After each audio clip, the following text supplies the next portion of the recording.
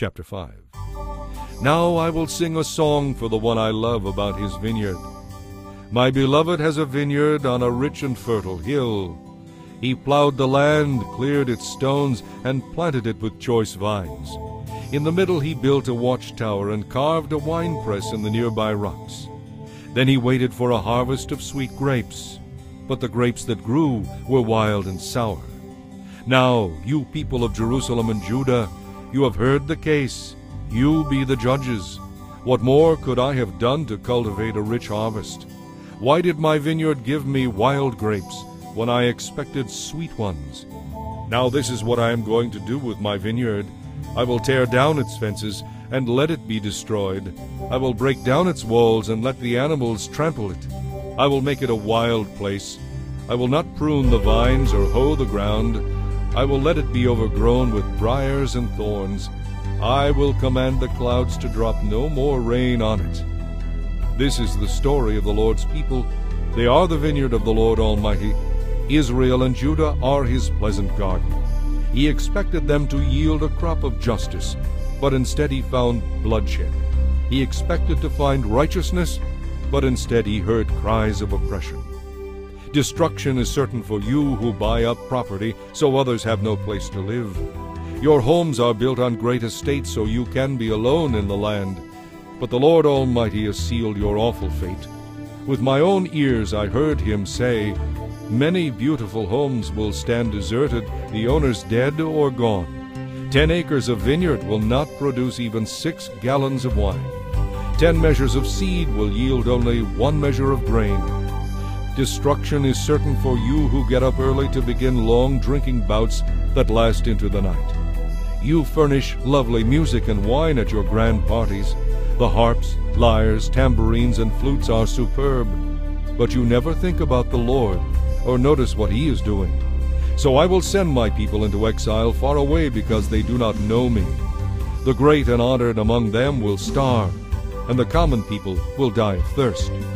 The grave is licking its chops in anticipation of Jerusalem, this delicious morsel. Her great and lowly will be swallowed up with all her drunken crowds. In that day the arrogant will be brought down to the dust, the proud will be humbled. But the Lord Almighty is exalted by his justice. The holiness of God is displayed by his righteousness. In those days flocks will feed among the ruins, lambs and kids will pasture there. Destruction is certain for those who drag their sins behind them, tied with cords of falsehood. They even mock the Holy One of Israel and say, Hurry up and do something. Quick, show us what you can do.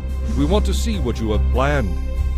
Destruction is certain for those who say that evil is good and good is evil, that dark is light and light is dark, that bitter is sweet and sweet is bitter. Destruction is certain for those who think they are wise and consider themselves to be clever. Destruction is certain for those who are heroes when it comes to drinking, who boast about all the liquor they can hold. They take bribes to pervert justice. They let the wicked go free while punishing the innocent. Therefore, they will all disappear like burning straw. Their roots will rot and their flowers wither, for they have rejected the law of the Lord Almighty. They have despised the word of the Holy One of Israel. That is why the anger of the Lord burns against his people. That is why he has raised his fist to crush them. The hills tremble, and the rotting bodies of his people are thrown as garbage into the streets. But even then, the Lord's anger will not be satisfied. His fist is still poised to strike.